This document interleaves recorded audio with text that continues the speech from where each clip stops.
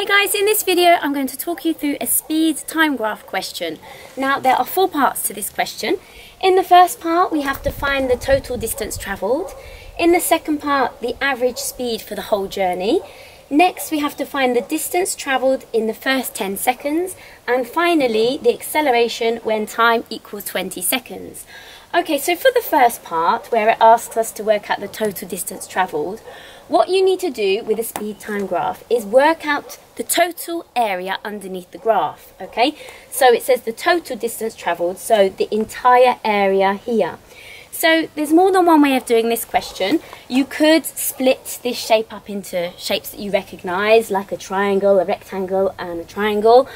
You can, however, do it in one whole go. You can find the area of a trapezium, okay, because this quadrilateral shape with one set of parallel sides is called a trapezium. Now, to work out the area of a trapezium, you have to add the parallel sides together. So I'm going to call them A and B.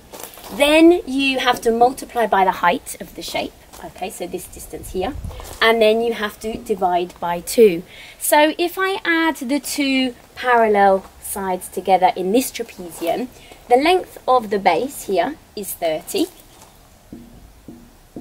and the length of this parallel side here is 10 because the difference between 5 and 15 is 10. So first you add those together. Next you multiply by the height which is 30 and then you always divide by 2 when you're working out the area of a trapezium. So if I work that out, 30 plus 10 is 40. If I divide that by 2 I get 20 and then if I times 20 by 30, I get 600. So the units for this distance are meters because here we know that the velocity or the speed is in meters per second. Here the time's in seconds, but because it's meters per second, it means the distance here is 600 meters. Okay, on to the next part. Now we have to work out the average speed for the whole journey. So if you know your formu formulas, you should know that um, speed equals distance divided by time, okay? We just worked out the total distance travelled, okay? It was 600.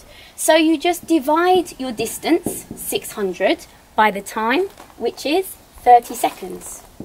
Okay, so if you divide those, uh, the zeros cancel and 60 divided by 3 is just 20. And again, for the units, we just look here, okay? This is in meters per second, so so is the average speed. Okay, so if you don't know that formula, you need to learn that off by heart.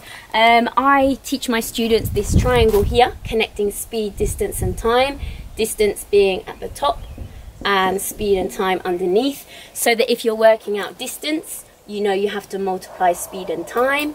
If you're finding time, you do distance divided by speed. And then finally, like the one we've just done, if you're working out speed, you have to do distance divided by time. Okay, I teach my students to remember D goes on top because D is first in the alphabet. Okay, now for part C, the distance travelled in just the first 10 seconds. Okay, so here's 5, here's 15. We know this here is the 10 second point. So similar to part A, you have to work out the area. But this time, instead of working out the area of this whole shape, we only need to work out the area of this triangle and this rectangle. Or, just like before, we can work out the area of the trapezium, okay? Because this shape is a trapezium. It has one set of parallel sides, okay? So I'm going to use that formula again. I'm going to start by adding together the parallel sides. So this side is 10 and this distance here is just 5. So 10 plus 5. The height is the same as earlier, it's just 30.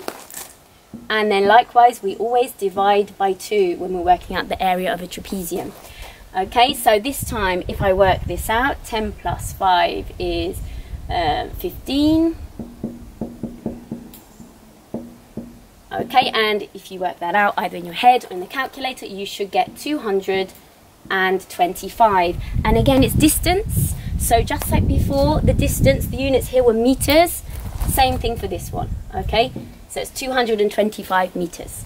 Be careful to read the question. Sometimes it might ask for your answer in kilometres and then you would need to adjust that accordingly. If it was in kilometres, you would need to divide your answer by a thousand because there are 1,000 metres in one kilometre.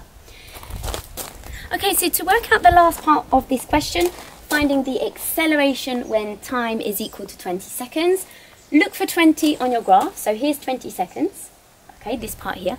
And you need to work out the gradient of the line, okay? So we need to work out how steep this line is. I'm going to use a method called rise over run to work out the gradient. If you're not familiar with this method and you don't know how to work out the gradient, I do have another lesson on that, so check that out first.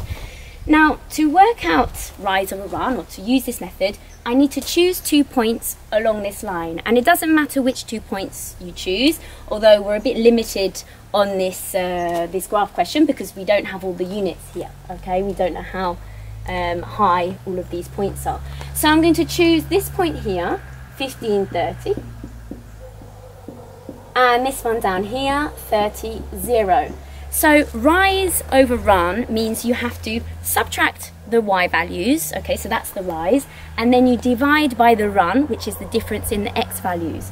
So here are the y values, 30 and 0. So if I subtract those first, I get 30 minus 0. Then I need to subtract the x values, so 15 take away 30. Just be careful when you do these subtractions. Notice how I did the top point minus the bottom point for both. Make sure you're consistent with your subtractions. You will get the same answer if you do these ones minus the ones up here, but make sure you do the same for both pairs of values, okay? So if we work that out, 30 take away 0 is just 30. 15 minus 30 is negative 15, and that simplifies to negative 2. So the units for acceleration are meters per second squared. Notice how in the question it asks for acceleration. This is the acceleration, this is the final answer. However, if the question had asked for deceleration, you would need to change the sign of your answer. So I hope that clears up some of your questions on speed time graphs. If you need some more practice, go check out my other lessons. I do have some more on speed time graphs.